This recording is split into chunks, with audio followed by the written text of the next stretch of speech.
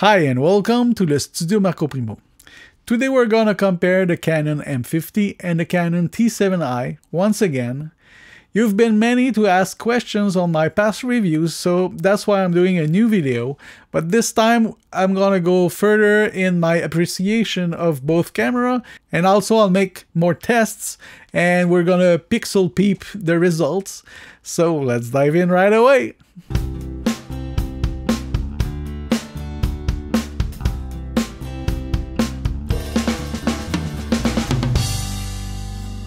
So the first difference we see between those two cameras is the size and how they feel in your hands. The M50 feels more like a travel camera, something very little, especially if you're using the kit lens, uh, the 15 to 45 millimeter. Uh, it's it's all made of, of, plastic. Although the image quality is very nice, um, it feels more like a toy than a professional camera. Uh, for the T7i, it's a lot bigger, the grip is better, and it feels more robust in your hands. But if you are using it on a tripod, and that you are controlling it uh, with a cell phone or a tablet, um, the transmission is a lot slower. So if you want to use it, uh, the T7i remotely, um, think about it because over the Wi-Fi, the image will glitch and lag, so it's not very fun to use it like that. With the M50, uh, the image is almost uh, real time, and well, I can show you a, a tiny bit.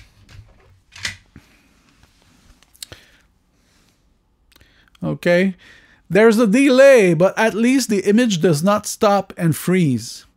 For other differences, the M50 gives uh, CR3 files when you want to shoot RAW. So it's not all the softwares that support CR3, although you can download a free software from Adobe to convert them into DNG and retain all the data.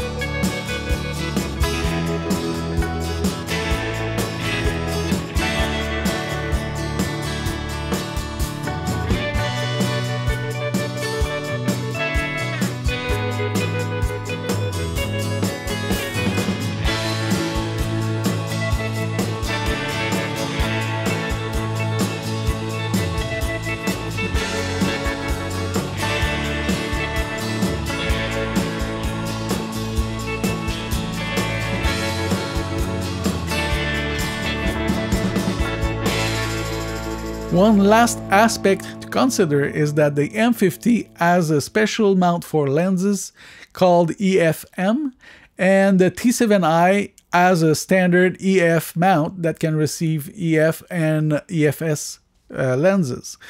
Um, it's not a big deal because with the M50 you can buy an adapter and fit some EF lens on it. That's what I'm doing right now. I'm using uh, the M50 with the adapter, the speed booster, which uh, has a lens in it that will get more light. So I'm at f2.0, even though the lens is a f2.8, the 70 to 200 uh, G2 from Tamron. But the thing is, the M50 is so small, if you want to use smaller lenses, EFM lenses, we're not sure if they're gonna produce a lot of them because they turned to the EOS R and the RP and now R5 and R6, which all have a new mount for R lenses. So that's one thing to keep in mind. If you already have EF lenses and you want to buy the adapter for the M50, that's fine.